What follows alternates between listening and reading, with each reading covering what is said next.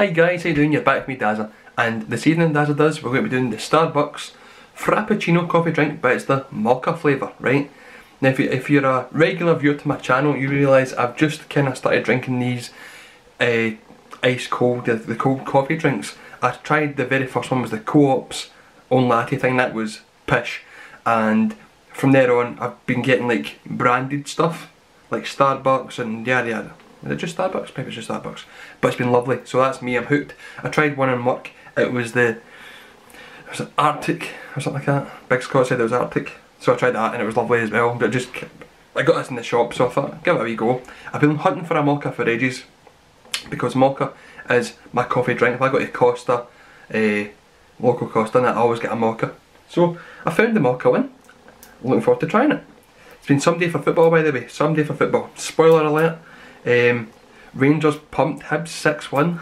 Dancer. Uh, Arsenal off to a flying start. Mrs Happy 1-0 against Newcastle. Sorry Connor. Um, Man United just thrashed Chelsea 4-0. Can't open this thing, sorry. That's their, Missy said that's, that's Chelsea's worst start to a Premier League campaign on the opening day ever. There we got it. Right, so I'm gonna get a good shake for her and that's that's the colour of it. I don't need a, a, glass or anything like that because it's that colour. There we go. So it's mocha. Mocha's my favourite.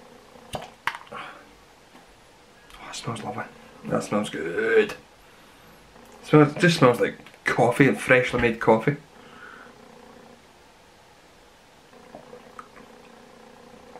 Oh, it's lovely. Lovely. Do you know what, last month if you asked me, and I told you to stick that up your backside, but that is beautiful we went to McDonald's today and I was trying to get the iced frappe mocha. Went to the screen, scrolled down and it said out of stock. thought, what? Came all this way to get, I wanted to try that and it was out of stock so I was gutted. Ended up having the spicy chicken nuggets and a double quarter pounder with cheese which was banging, banging. Mm.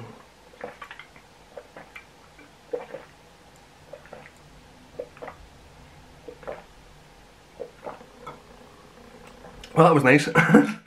oh, gorgeous.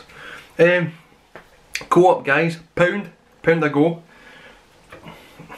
10 out of 10.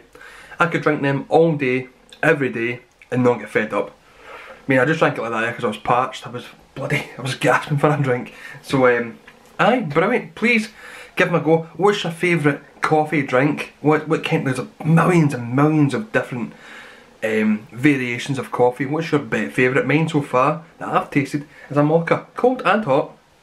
Preferably hot, I won't lie, but when you're just down for a quick cold one's fantastic. I'm going to start putting, I'm going to start, I'm going to be start putting polls in the videos. So see at the start of the video, I'm going to, if it's a thing, be, you can have different kind flavours and whatnot. I'm going to put a poll at the top and it will say things like what's your favourite flavour or yada yada yada, and you can vote for me if you don't mind.